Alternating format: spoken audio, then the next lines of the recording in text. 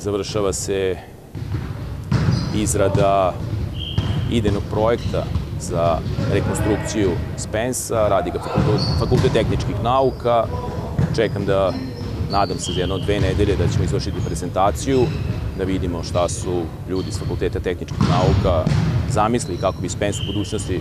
trebao da izgleda, da bi nakon toga krenuli u dalje korake, da vidimo prvo sredstva, nešto su mi u telefonski rekli da to je ispod 150 miliona eura.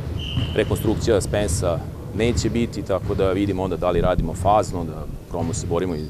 za novac, za sredstva, da se obratimo i državi, ali kažem, potom, potom za početak da vidimo kako će izgledati ovaj idejni projekat po strane Fakulteta tehničkih nauka,